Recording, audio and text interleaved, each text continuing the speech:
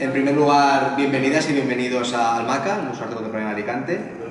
Eh, esta actividad, que recibe el nombre de Encuentros con Creadoras Locales, es una actividad que ha sido propuesta por el Grupo de Palabras Mayores. El Grupo de Palabras Mayores es un grupo dirigido a personas mayores de 60 años, es un grupo que realiza actividades aquí en el museo y el objetivo que tiene el grupo es acercar un poco, entender o simplemente trabajar a partir de las colecciones del MACA a través de, por ejemplo, estos encuentros, performance, otras actividades vinculadas con el arte contemporáneo. Como digo, una de las actividades que realizamos bimestralmente aproximadamente son encuentros con creadoras o creadores locales y en esta ocasión tenemos la suerte de contar con, con Carmen Américo que ha aceptado la invitación y estos encuentros, como explicaba Carmen, tienen como objetivo un poco conocer a, a las, los artistas, a través de tres preguntas que Carmen nos irá respondiendo con su discurso, que es ¿qué haces? ¿Cómo lo haces? ¿Y por qué lo haces? Después de, esta narración habrá un momento que durará aproximadamente 20-30 minutos en el cual podremos preguntarle a Carmen lo que queramos, bueno, lo que queramos, lo que esté dispuesta Carmen a responder, ¿vale? Sí, sí, yo... y yo moderaré el turno de palabra, pero procuraremos que sea más un tono distendido de conversación. No es una conferencia ni nada. No, les va a gustar, les va a gustar. No me cabe duda, Carmen. Sí. No, pues porque yo tengo un tono de voz muy que llega, ¿sabes? Y soy muy abierta y por lo tanto yo llego a todo el mundo. Entonces, no hay más que hacer que comenzar. Un aplauso para Carmen, por favor, y gracias por venir.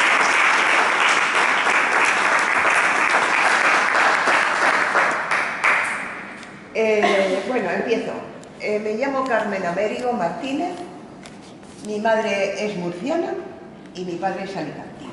Y por eso hemos venido aquí, vinimos cuando yo tenía 11 años, nos vinimos a vivir aquí porque mi padre, viviendo en Murcia, nunca quiso que habláramos murciano.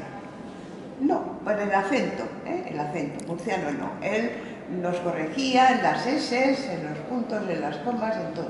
Nos corregía en. Y nosotros nunca hablamos murciano. Y cuando llegamos aquí, a la Rambla de Méndez Núñez 16, eh, teníamos abajo teníamos una tienda de hombre que se llamaba Flomar. Hoy vosotros ya no lo conocéis porque sois más jóvenes que yo. Pero estuvo bastante tiempo y luego ya desapareció. Bueno, yo me llamo Mari Carmen para mi familia. Pero Carmen soy para los demás, ¿eh? poéticamente soy Carmen Américo. El apellido Américo es muy conocido en Alicante en una época muy, muy cerrada, donde vivía Franco eh, todavía, y en fin, todas esas cosas, pero que mi tatarabuelo era el primer terrateniente en Alicante y trajo las aguas a Alicante y, colaboró con, con, este, con Maisonave en el ferrocarril. Yo estoy apuntada en, los ferroviarios, pues si un día me quedo muy cojita y muy mal, pues entonces tienen donde, donde echar mano. Bueno, tengo un lado pija, pero la otra parte no. La otra de mi abuela materna es una persona muy del pueblo, muy llano, muy tal. Entonces yo tengo dos vertientes. Eh, una que, tengo que estar siempre eh, así y la otra pues muy llano, ¿eh? muy llano. y eso a la hora de votar se me nota. Bueno, sí, lo que pasa es que ahora votar es dificilísimo porque no sabremos nunca a quién tenemos que votar porque hay gente que me va y otra pues no me va. Y otras que se equivocan mucho y otras que no. Bueno, veréis, eh, la poesía. ¿Por qué llegué yo a la poesía? En el 2013, 2014, entre ese tránsito, yo eh, eh, estaba pasando un bache muy grande, muy, muy doloroso, porque yo cuando me casé, me casé para toda la vida. Y entonces, pues mi marido, pues me hacía vestirme como monja, las blusas me las forraba, me las tenía que forrar y eso no había quien lo aguantara. Entonces, con 39 años de matrimonio, nos separamos y entonces estuve eh, por lo menos cuatro años pues muy malita sin saber cómo salir de todo ello, ¿no? Porque dependía tanto de mi ex marido que no sabía cómo salir de ello. Bueno, bien.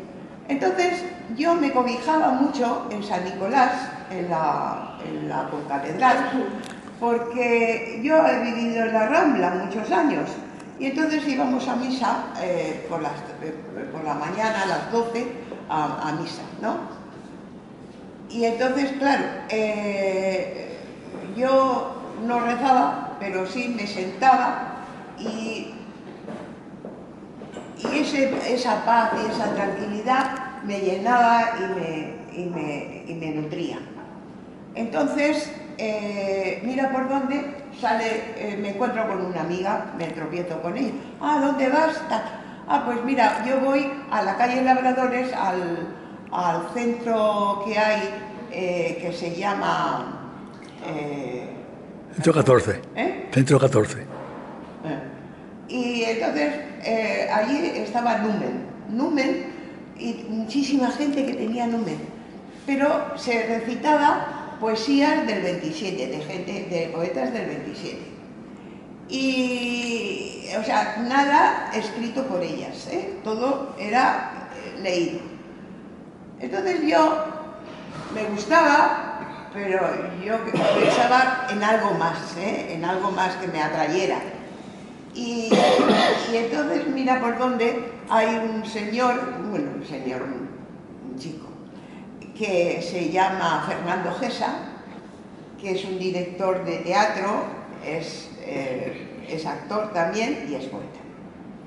Y nos, nos hicimos amigos y entonces él dijo, oye, ¿queréis que os dé unas clases magistrales de poesía para que sepáis cómo recitarla eh? y os paráis en los puntos y en las comas eh, y le dais énfasis a la poesía cuando debe ser? Bien, pues yo dije, ah, me apunté enseguida, ah, pues sí, sí.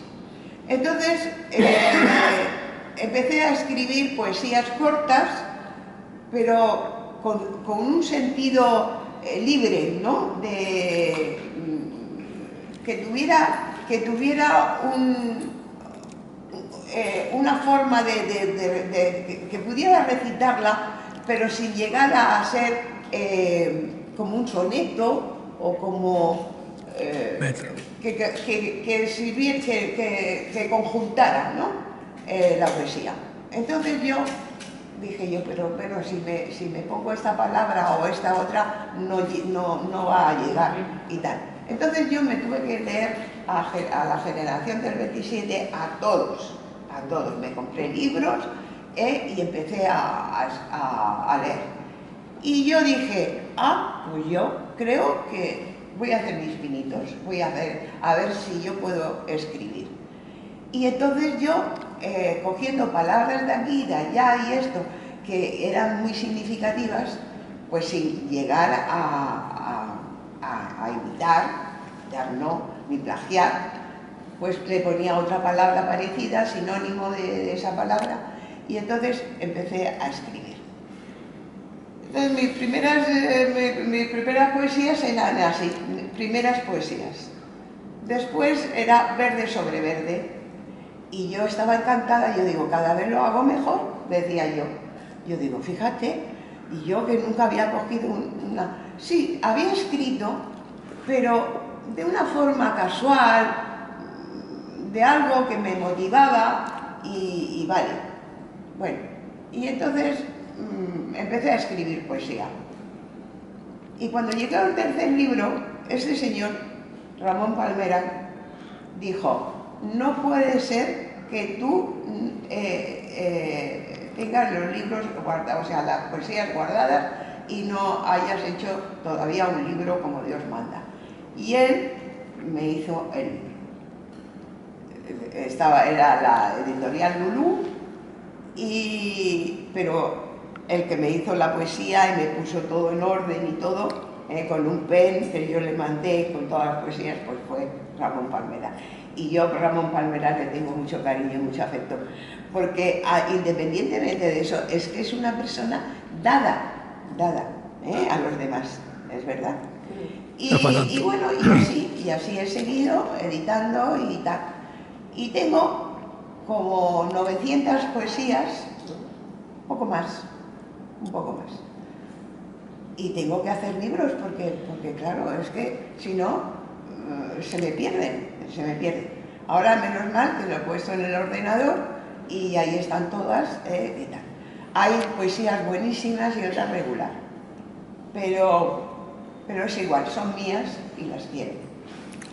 Mi poesía habla del amor, pero no del amor mm, de ese un amor eh,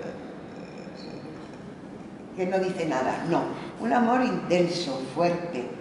Eh, tengo un amigo que es, canario, se llama Ricardo Martín Desmes, que habla sobre poesía erótica. Y dije yo, ah, pues eso a mí me gusta. Y yo digo, pues voy a ver si escribo poesía erótica. Con que dije yo, bueno, me voy a poner, a ver. Bueno, pues había unas palabras muy sutiles que hablaban sobre los pechos, sobre el pubis, sobre todo lo que tenemos la mujer de erótico, ¿no? Pero lo hablaba de una forma sutil, ¿eh? las lomas, las montañas, eh, en ese aspecto. Y, yo, mm, dándole mi, forma de escribir, dándole la forma mía, pues eh, escribía unas poesías que vamos, me decían, ¿de dónde sacas tú esas poesías? Y yo digo, pues mira, porque me gusta la poesía erótica, pero no me gusta la poesía burda, ¿eh? que todo te lo dice al pie de la letra, no. Yo lo, ah, lo hago de una forma que me entiende todo el mundo y les gusta. Y luego pues tengo poesías de locales, del, pueblo, de, aquellas, de aquellas mujeres que iban al campo, que se vestían con refajos, y cuando tenían frío, uno de los refajos se lo ponían aquí en la cabeza y eso servía de abrigo, porque el abrigo no existía. ¿eh? Y entonces, eh, eso lo supe yo por mi abuela, mi abuela materna, que aunque siendo mujer de, un militar de de... Guardia Civil. De guardia, eso es, Guardia Civil, pues es igual. Él, ella le daba, hacía le, daba lo mismo, fuera el Guardia Civil o no.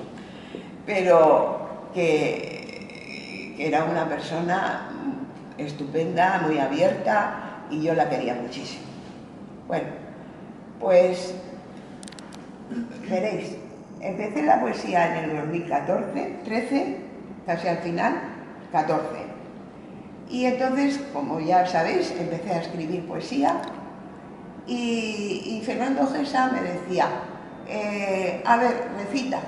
Y yo recitaba, bueno, las, poesías de Federico García Lorca eran fabulosas, era que, no podía ni respirar. ¿eh? Podíamos respirar cuando encontrábamos una coma ¿eh? o un punto, pero si no, le dábamos el énfasis que requería la poesía y a mí eso me encantaba. Luego hay una poesía que a mí me gusta mucho, que es de Cristina eh, Fernández, una colombiana, que dice, mm, dice, Blanca, ¿eres blanca? No, señor, soy negra. Entonces, claro, eh, esa forma de, decir las cosas y de expresarse, pues eso a mí me llegaba mucho y me, hacía. Con los años me irían conociendo y me, abrían las puertas, me abrían las puertas de todas partes. Y, he sido de, soy de AUCA, de las letras, una revista que se hace magnífica, se hace cuatrimestral, eh, se presenta en la sede de la universidad y yo escribo y dos poesías y yo luego las recito. También he recitado a Palmeral, que tiene unas poesías maravillosas. Oh, sí. ¿Eh? ¿Te acuerdas que te recité una del río ese? Estupenda. ¿El río Vinalopó? Sí, del río Vinalopó. Bueno, pues llega, pasa el tiempo y me voy a espejo. Porque yo tengo una hermana que es una pintora magnífica, que se llama María Américo, que pinta de maravilla, hace collage, pero un collage de relieve, ¿sabes? Eh, maravilloso. Y yo tengo mi casa llena de pinturas de ella, pero los mejores cuadros, ¿eh? Y los tengo hasta el techo. Cuando entras a mi casa, lo que ves es cuadros por todas partes. Hasta la cocina he puesto cuadros. Bueno, pues llegó un momento en que, en que ya me hice tan popular que participé en, grupos poéticos virtuales. Lo que era antes eh, tenía un título que era eh, eh, poético, que era poesía poética ontenien, el Parnaso siglo XXI ahora se ha convertido en generación del 23 Parnaso siglo XXI. Y se hizo el primer eh, concierto de versos en Onteniente. Teniente es un pueblo que parece una capital más que pueblo, ¿sabes? Hay pisos altos y tal. Es, una, un, eh, es un pueblo que tiene mucha industria textil y la gente, aunque te, allí hable valenciano, te contesta en castellano si te O sea que muy bien, que no, no tengo problema. Perdón, quizás convendría que te sentaras y te oímos perfectamente, pero tú estás más cómoda. ¿Te vas a cansar de estar tanto tiempo de pie? No, no, estoy sí, bien. parece bien a todos. Bueno, vale. Bueno, no, es que así me ven todos.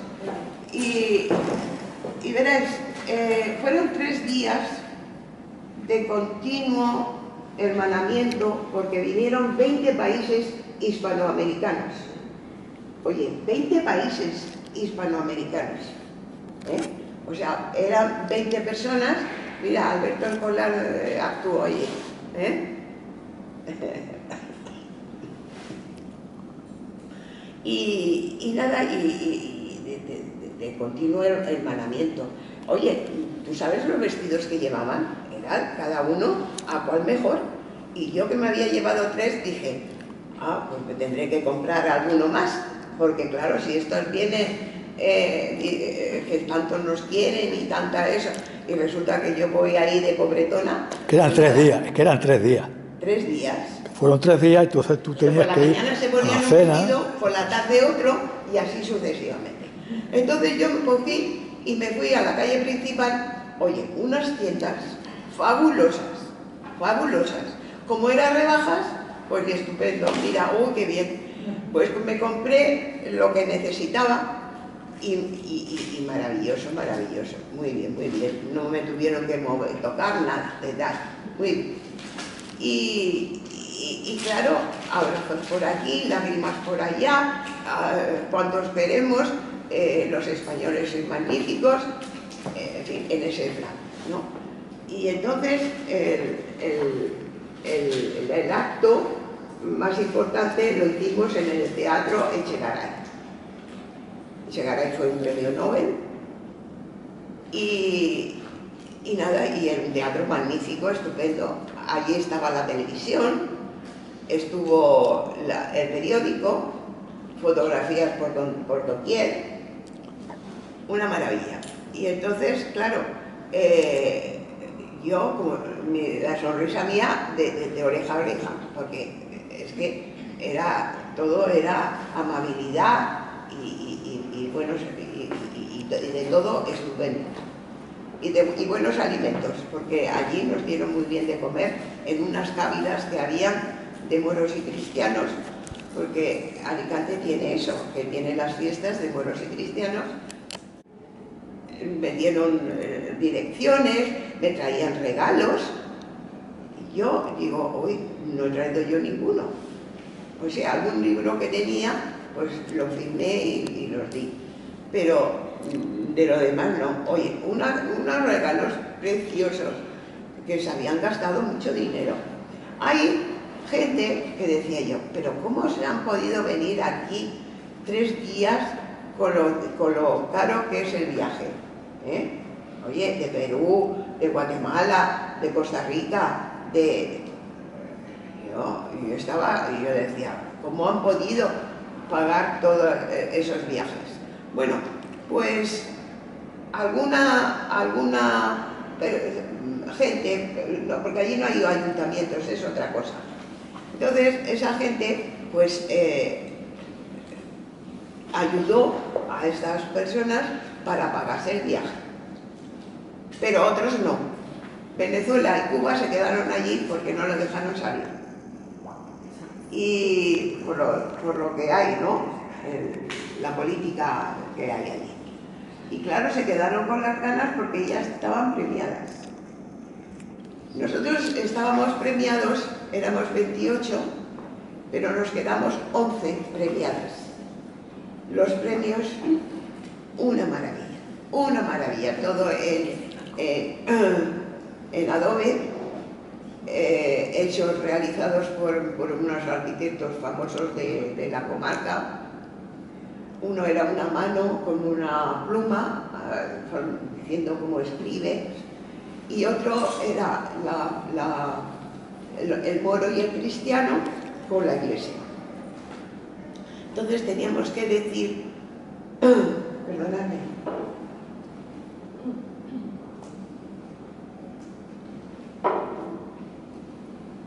entonces el primer acto fue la alegoría a, a Teníamos que hablar sobre la Virgen, el pueblo, lo que es el pueblo, sí, bien. Y yo, como siempre, todo de memoria. Yo digo, algo, algo te fallará, porque todo de memoria, bueno, pues me salió bien. Todo eso lo tengo grabado.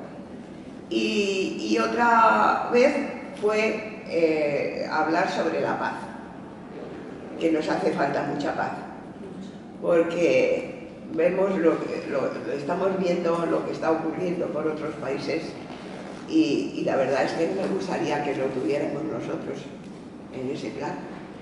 Y luego todo lo que ha pasado ahora en Valencia, que es, una pena, es una pena, todo lo que han perdido la gente. Sobre eso tengo una poesía. Había eh, el grupo ese, era, había tres líderes. Uno era la directora, la que había eh, creado el grupo este, que se llama Maripaz Sainz Luego estaba Juan Elmer Caicedo Níquel, que era de Perú.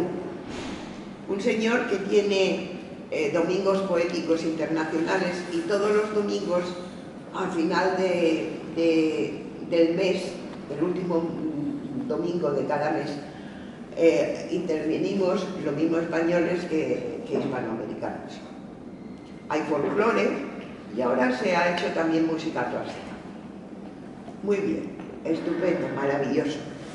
Yo mando unos vídeos y, me dice la gente que yo repito muy bien. mejor para mí. Y, eso, y eso es lo que nosotros... Ah, y el escenario estaba lleno de todas las banderas, de toda la gente que había venido. Eso era maravilloso.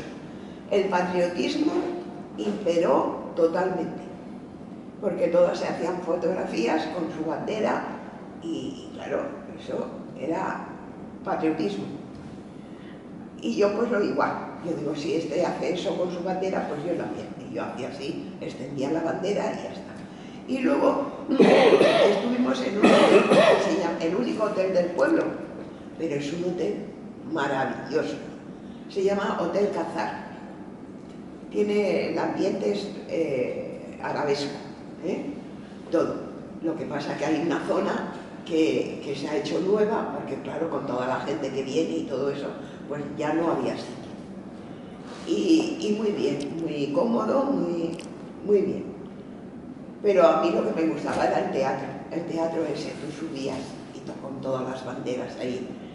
yo digo, veremos cómo, cómo salgo yo de todo esto. Pues, pues salí bien, salí bien. Y, y, y nada. Ay, perdonadme. Es que me, Cuenta cuánto estuviste en la Concejalía de Cultura. No te he oído. Repíteme. Cuando estuviste en la Concejalía de Cultura. Claro, hay una, una chica que es porque nos han dado títulos a los em- de embajadores, ese, ese, ese grupo ¿no? literario. Se llama Generación, Parnas, Generación del 23, Parnaso siglo XXI. De 2023. Mucha gente se confunde que se cree que, que es 1923. No, no. Es 2023. no, del 23, del 23. Ah, ya, ya lo sé yo. Eso. Del año pasado. De hace dos años. Eso, casi. Entonces, entonces verás, la, la que era mi consejera, porque yo soy embajadora de asuntos internos, o sea que todo lo que está por, por, pues, por dentro, yo lo, lo salgo a relucir. Y esta es consejera mía, pero es una chica magnífica. Todos los días en el, WhatsApp del, concierto dice buenos días, buenas tardes, buenas noches a todo el mundo y hace una pequeña poesía de introducción y bueno, cosa que no hago yo. Digo, así que ella se ha ganado las simpatías de todo el mundo. Y ella tiene un amigo que, o familiar que le hizo una entrevista en la televisión, eh, la televisión local. Y, en la televisión local ella quedó como una reina, y se expresó muy bien, estupenda, la sacaron primeros planos, estupendo. Y entonces pensé yo, Alicante, Alicante, mira que somos dejados. Habrá que ir a hablar con la concejala primero y después con el alcalde. Y dije yo, bueno, pues voy a ver, me voy a atrever. Conchi Sempere, una pintora magnífica, me dice, uy, ya verás cómo te dice que no. ¿Por qué no? Bueno, yo digo, mira, yo me llamo Carmen Américo y por ahí empiezo. Claro, el Américo resulta que es muy famoso. ¿Por qué? Porque tengo un primo hermano que ha hecho 13 cuadros, retratos de los alcaldes que han habido ¿eh? dura- eh, en el transcurso de los años En Alicante. en Alicante. Y, y- y mi primo Juan, Juan Manuel, Américo así, pues claro, eh, decir él que es eso, y ha escrito, ya, ya ha pintado 13 cuadros, pues es una cosa importante. Pero bueno, pero yo no dije nada de eso. Yo solamente me presenté como Carmen Américo y mira por dónde me dijeron, en tres días tienes la cita. Luego se postergó un poquito, pero bueno, a ver si no te la van a dar al final. Yo digo, sí, me la dan, ay, es que no, no tenéis fe. Y entonces, bueno, se vienen varias conmigo y tal, María Teresa Rodríguez, Conchi Sempere, que es la portavoz de, es consejera portavoz de Claudia. ¿eh? Y entonces, pues, yo digo, el día tal, a, a tal hora tenemos que estar en, la, en, en el, ayuntamiento, pero no en el ayuntamiento, sino En la Plaza Quijano. ¿eh? En la Plaza Quijano. en la Plaza Guijar. Gracias por los La concejalía. por la ayuda. Entonces, esta concejala tiene, eh, tiene eh, su padre es árabe y ella es una preciosidad. Ella es una. Ella dice que es, es española. Ya, de árabe no tiene nada más que el, el apellido. Bueno, no, le, no se lo discuto. Y entonces está embarazada de, de siete meses y le van a poner al niño, porque es un niño, Nicolás, sea, como San Nicolás, el patrón de Alicante. Claro, se lo dije a, a- a Ramón Palmeral y se vino enseguida. Hombre, si conocía a la concejal, ¿quién no conoces tú? ¿A quién no conoces? Yo fui acompañando. Bueno, pues él empezó a hacer un vídeo, ¿sabes? Muy bien. Y, y, bueno, y, estuvimos hablando con la concejala todas y salió todo muy bien. Y, y el hecho de, de, que Mari Carmen Américo hubiera conseguido que hablar con la concejala, pues eso era una cosa importante. Y os van a dar un reconocimiento. Un reconocimiento nos van a dar. ¿eh? Como que existimos y como que eh, somos un grupo importante. Y firmado por el alcalde. ¿Eh? Y va a ser firmado por el alcalde. Y va a ser firmado por el alcalde. Bueno, muy bien. Gracias por, por, la ayuda. Y, y, nada, el día le dimos un homenaje al Espejo de Alicante, a la, a la presidenta, que es una señora, bueno, no te puedes imaginar, os podéis imaginar la cantidad de títulos que tiene, de diplomas que tiene, ella es catedrática de música, ha sido, eh, ha sido directora del Conservatorio Superior de Alicante, yo no sé cómo puede con todo, porque además es caritativa y, hace donaciones. Hombre, la hacemos todos, ¿no? Pero ella, eh, como presidente, pues claro, siempre figura. Pero vamos, que le hacemos todo, ¿eh? La, ayuda esa. En África tenemos pozos que hemos hecho con agua y hemos hecho una escuela. O sea, que quiero decir que espejo es muy importante, muy importante porque se mueven continuamente, se están moviendo continuamente. Ahora, en, en noviembre, el día 4 de noviembre, voy a tocar el piano en la sede de la universidad y, y voy a recitar también.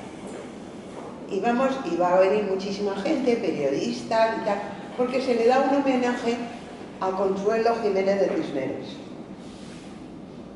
una catedrática de lengua y literatura magnífica que ha muerto a los 56 años, fíjate, cuando tenía toda una vida por... A los 68. 68, mira, pues 68. Fíjate qué memoria tiene. porque se había jubilado, con, pero no, yo me acabo de enterar a mí, Nació en... Ah, ¿no sabías que se había muerto? Bueno, sí. Ella es se murió en está a caballo. Se murió el 3 de agosto. está en Alicante porque ella es alicantina. En Madrid, ella es, la han hecho este Alfonso, ¿cómo se llama el amigo nuestro? Alfredo. Alfredo Gómez Gil, que es muy ilustrísimo que le han hecho ilustrísimo por su trayectoria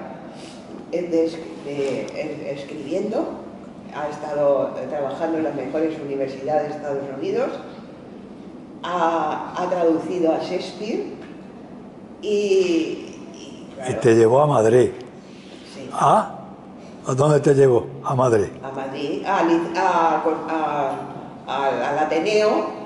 Eh, Real Casino. No, el casino, Real Casino y ahí fui invitada y, recité mis poesías muy bien y tal. Bueno, me aplaudieron muchísima gente, me quedé muy satisfecha y muy bien. ¿Y también tocaste el piano? Y también toqué cinco años de noviazgo.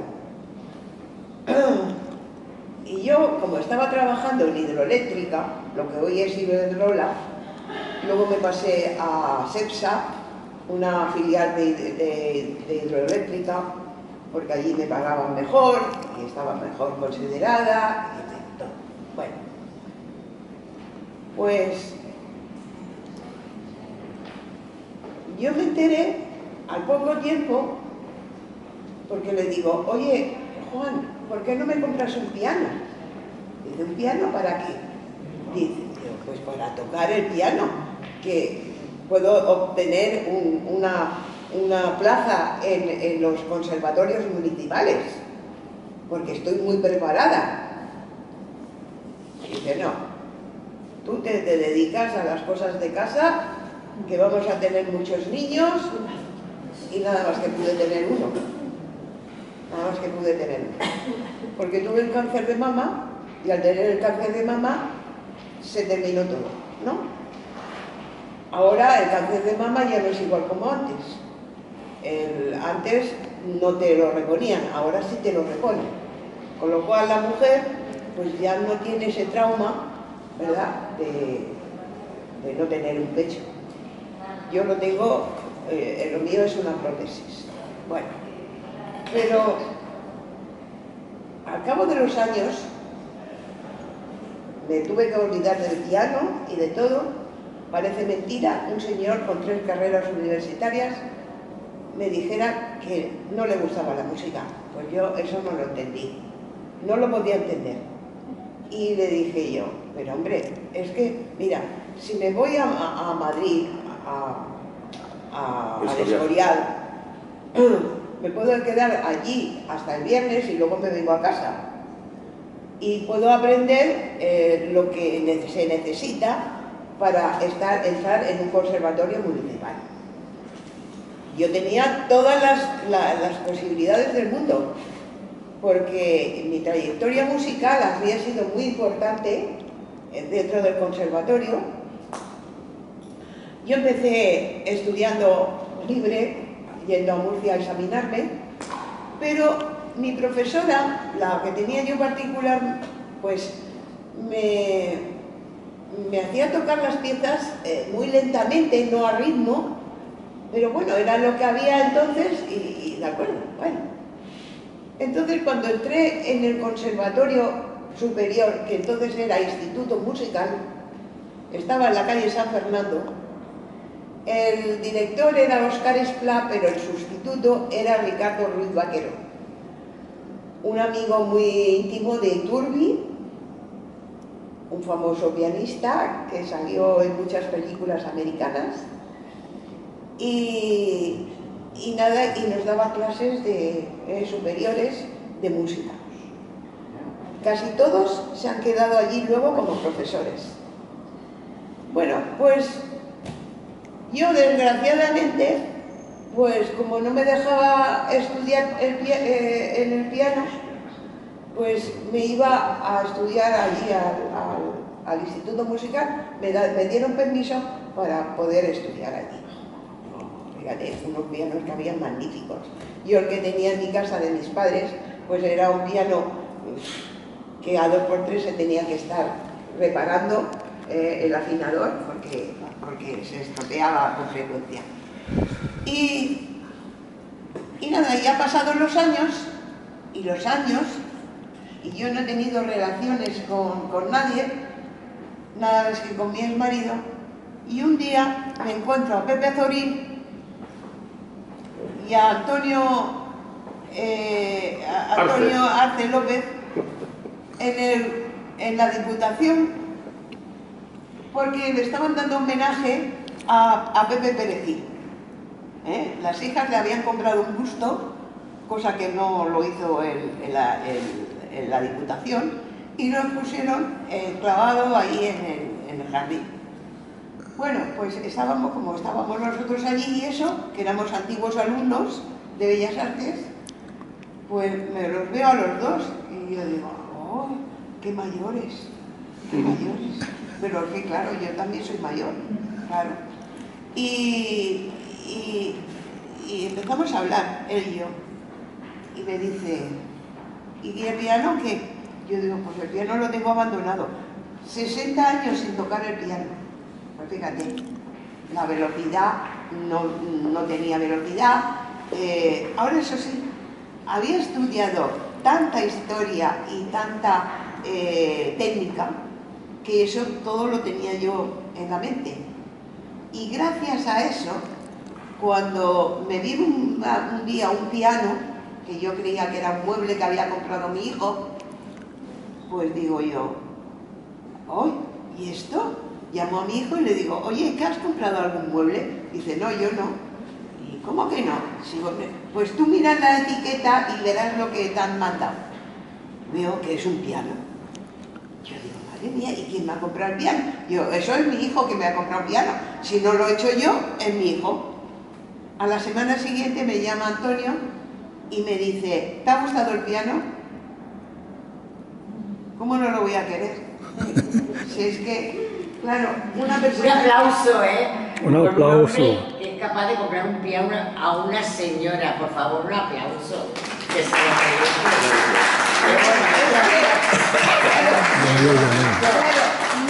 lo más importante de una orquesta. Y eh, yo sabía que Maricarmen había hecho la carrera de piano y consideraba una injusticia que no pudiera tocar el piano, que se le negara tocar el piano. Y yo asumí esa injusticia y quise darle solución. Y por eso le compré un piano y se lo mandé a casa. En Oye, secreto. fijaros que no teníamos relaciones todavía, ¿eh? que era un amigo íntimo, maravilloso, De juventud. desprendido, porque nos conocemos desde cuando teníamos él 15 años y yo 14, que íbamos a Bellas Artes. Y, yo digo, no me digas tú que te has gastado tanto dinero en, en un piano para mí. Dice, sí, porque tú te lo mereces. Porque es necesario que tú sigas tocando. Yo digo, madre mía, ya veremos si puedo tocar.